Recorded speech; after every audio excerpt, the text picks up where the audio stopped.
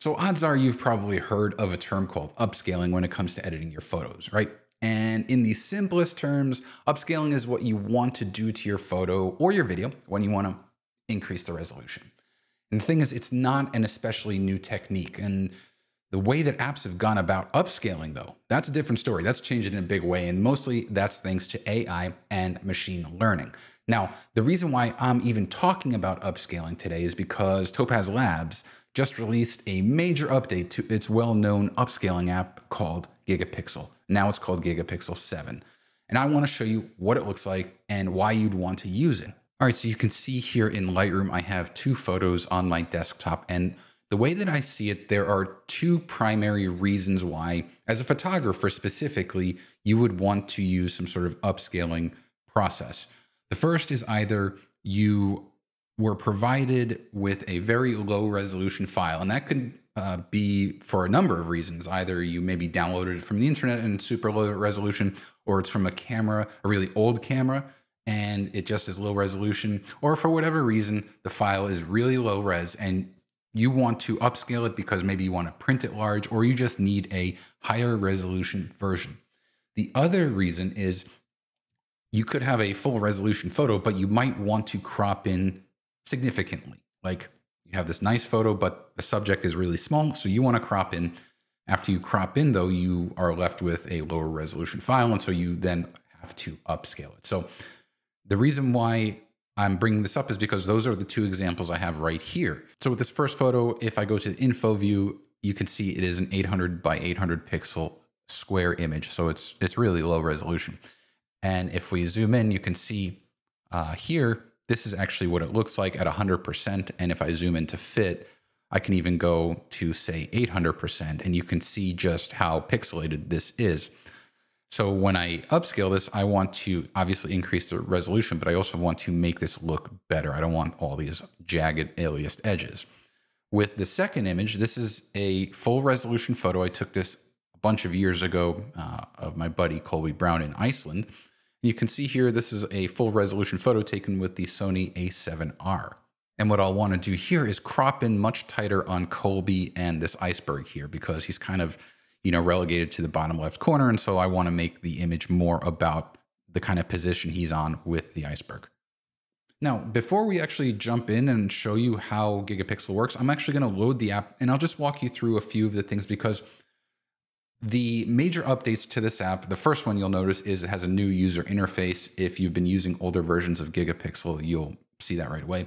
But also there are some new models and I want to also show you the preferences. We'll do this really quickly. So let's jump in here.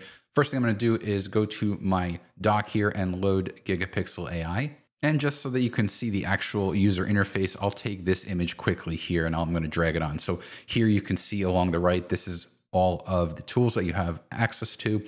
And one of the first things I want to bring up here is the fact that there are some new models. So there's this high fidelity version 2 and standard version 2 models. And really the way that I approach Gigapixel is that it is a purpose-driven app. You know, I'm using this app because I want to upscale a photo and nothing else. There are some options here you can see in terms of denoise and deblur. Depending on the model that you use, you'll also have the ability to fix compression.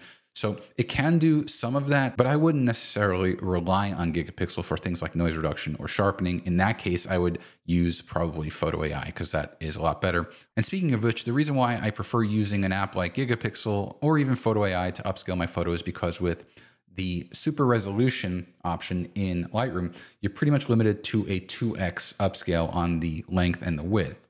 If you need to upscale greater than that, this is where apps like this one really shine. So Okay, here you can see again, we've got the basically the scale or the rate at which you're going to upscale. You can choose by a specific scale, like 1x, 2x, 4x. You can also specify a specific value for the width or the height, but I generally just use scale. I mentioned here you've got the models. So if you hover over these tooltips here, it'll tell you kind of what the models are. So here it'll tell you the type of image you probably want to select the model for. Below that, I mentioned you have the ability to apply some noise reduction as well as some sharpening and compression fixes. And then if you're working with a portrait, you have these other options here, the ability to apply face recovery as well as gamma correction. And again, hover over the tooltip here to learn a little bit more about each of these tools over here. Along the bottom, you'll have your file list here. So you could work with multiple files and each one would have its own row. And you have information here like the original resolution and what the output resolution is, and then the settings that you've used.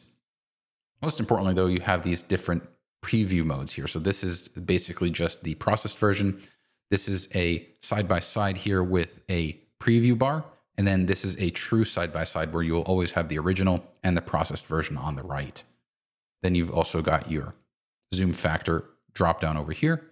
And with that, I want to go to the preferences of the app. Now, in terms of the preferences, the ones that I recommend paying attention to is the under export here to use Adobe DNG SDK for export. I prefer having that on because I would rather use Adobe's SDK. And then under resize over here, you can choose what your default upscale is. So generally I like to have it at 6x because that's generally I want to upscale to the maximum that it's capable of.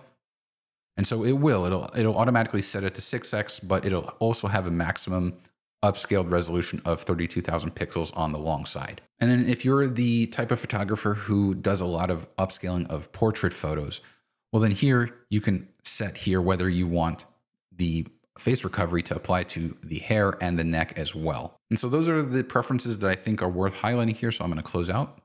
And now let me start over because there are two different workflows that I want to show you here. So I'm going to quit out of Gigapixel and then go back to Lightroom over here. So currently Lightroom does not have third-party plugin support with the exception of Photoshop. So the way I see it, there are two workflows that a Lightroom user can follow when it comes to working with an app like Gigapixel. And the first is to send it to Photoshop, and the second one is to export it to your desktop and then open it directly into Gigapixel. So I'm going to show you both of those right now. All right, so again, let's start with this first photo over here.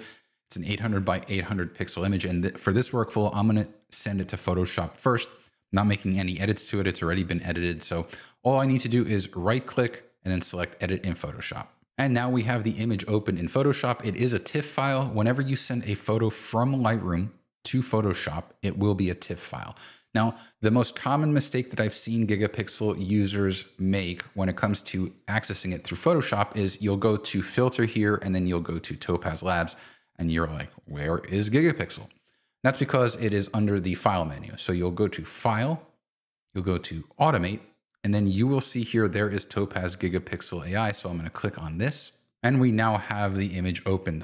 I'm to go ahead and go to the single screen view here and I'm going to upscale to 6x. Now, the way that you generally want to see the effects of any sort of upscale is you really want to zoom in tight on the most important part of the image. So let me zoom into 200% here and go on the eyes because that is the most important thing. Usually, in my experience, I've used three models while testing Gigapixel 7. I've kind of toggled between the high fidelity V2, standard V2, and low resolution. And that's something I recommend doing before you commit to anything. These are probably the three best models that I found so far. So let's start with standard here. Look at it and it's okay. It does a decent job. It's a little bit, uh, you know, a little kind of noisy, I would say. So then we'll go back to high fidelity and this looks fantastic. Like you have detail, and you also have that kind of lack of distraction with noise. Now let's try low resolution. Now low resolution could work, but it almost adds a little bit of an illustrated look, like everything is over sharpened. So the winner for me here is high fidelity V2. After that, you have the option to choose whether you want these kind of post-processing edits made, like applying a little bit of minor denoise or sharpening or fixing compression here. The other thing that I have enabled here is this kind of autopilot setting. So Gigapixel analyzes the photo and it applies the best settings it thinks that would make the image look better. And then because this is a portrait photo, I do think that face recovery would help here. And so I'm going to enable that right now. And I recommend actually zooming out a little bit so you can see the entire face with face recovery because obviously it's making changes to it. And I also recommend now at this point going to a side-by-side view so you can quickly see the original and the edited photo, and you can see just how much better this looks. Now, there is a slider here, basically a strength slider for the face recovery tool. And you can go about this different ways. I know some people like to bring it to 100% first. Oftentimes, this is way too, you almost are in this uncanny valley realm where things look like plastic or porcelain. Uh, and again, it has that illustrated look. But it's a good place to start because then you can start, you know, backing off. And one of the things I want to bring up is just how fast the preview is being applied. It's almost real time. So here, I'll bring it over here and see the image. It, it snaps into place really quickly. So I'm still kind of in that it's a bit too soft mode. So I'm going to bring it back to around 30% here. And I feel like this does a really nice job. And just looking at the original and the processed photo, it just looks amazing. And the thing that I want to point out again is at the very bottom, you'll see the original size that we started with was an 800 by 800 pixel square.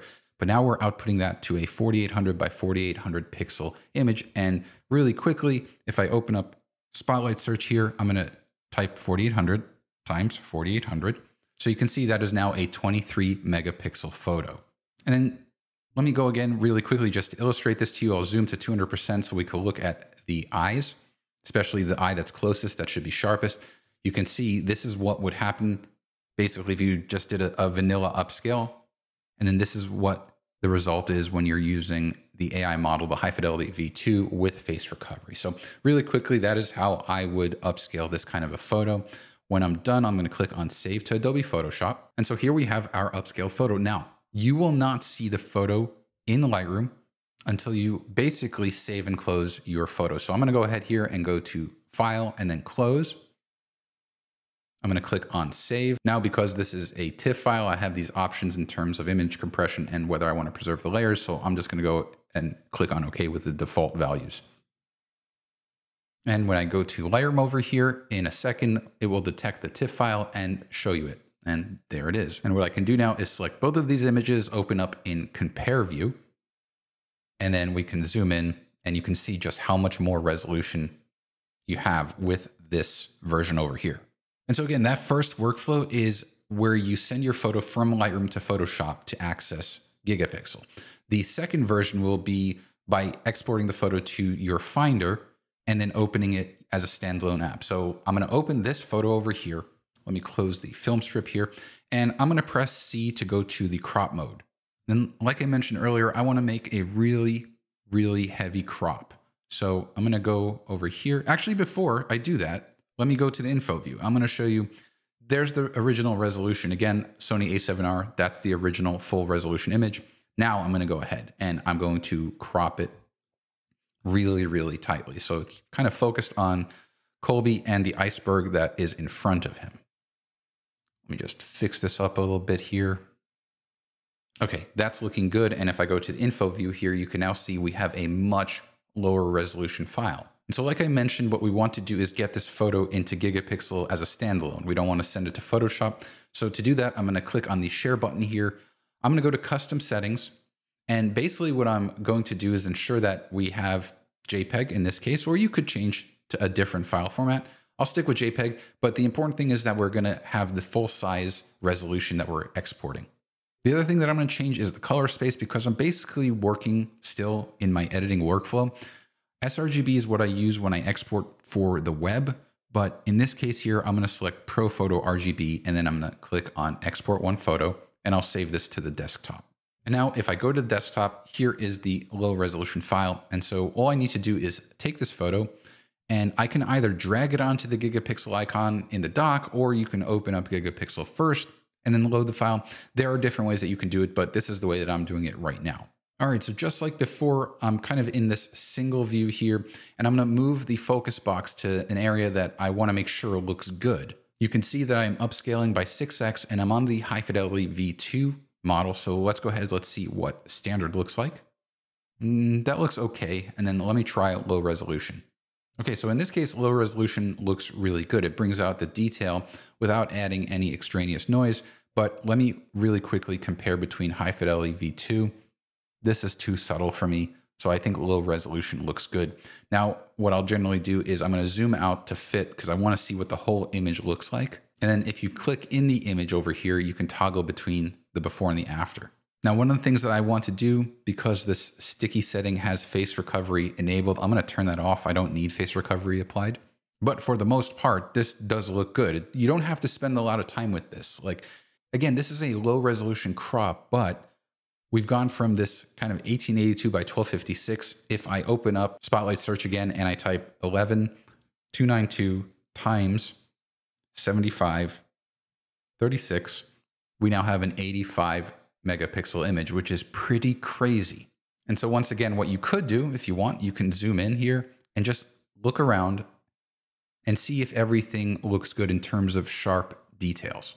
Now, of course, you could try these other models as well, but for my own purposes, I've really found that these three models serve my needs best. So now that we're done, all I need to do is click on Save Image.